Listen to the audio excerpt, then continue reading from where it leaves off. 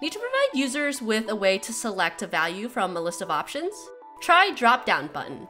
To start, give it a list of options as drop-down menu items. Drop-down menu items represent the things you'll actually see in the drop-down menu. Since they're all in a list together, they must all be of the same type. Provide a state variable containing the value of the selected drop-down menu item.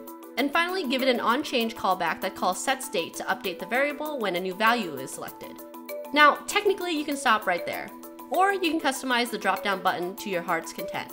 Is that arrow too small? Make it bigger by adjusting the icon size. Or perhaps the default gray doesn't stand out enough.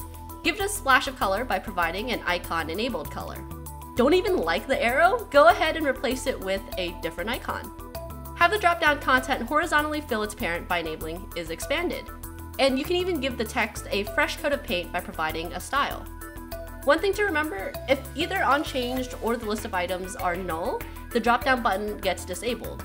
The arrow will be grayed out and it won't respond to input. For more info on Flutter and all the other widgets, head to flutter.dev.